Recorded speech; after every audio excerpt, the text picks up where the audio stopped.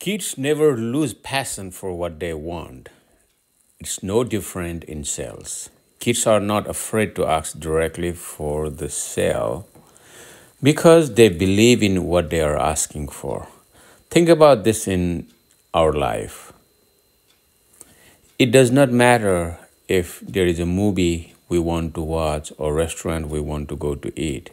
If we believe that getting or doing that thing will make our life better in some way, then we're going to ask for it.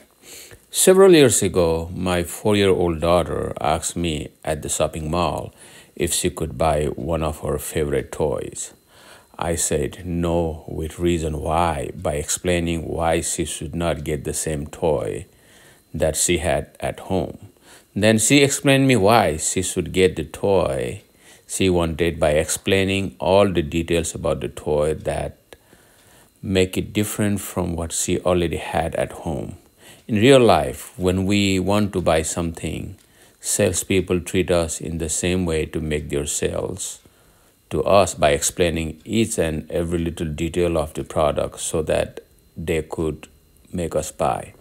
Trust me, learning from kids will never end, and there is a lot to learn from them in life. I hope you find this information helpful. It all begins with you.